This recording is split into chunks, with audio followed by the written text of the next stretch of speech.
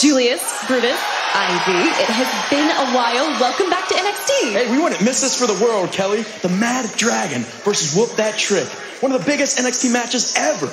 I remember when you guys were here chasing the tag team titles. And now tonight, Trick is on a chase of his own. Hey, that feels like it was just yesterday. But the momentum that Trick's been able to pick up these last couple months, that's truly remarkable. Mm. See, we've seen it since day one. The way that he's worked hard, the way that he's bet on himself. And tonight, Kelly, we see Trick Williams slay the dragon. Ooh, I don't know if he can slay the dragon. What? But I guess if anyone can, it's Trick Willie. That's right. The real dealie. Oh. He looks like a Millie. So what you're saying is, whoop that trick. Ooh, whoop, whoop that, that trick. Uh huh. Whoop that trick. I like it. Whoop that trick. Yeah. Whoop that trick. Okay. Whoop that trick. Let's go. Whoop.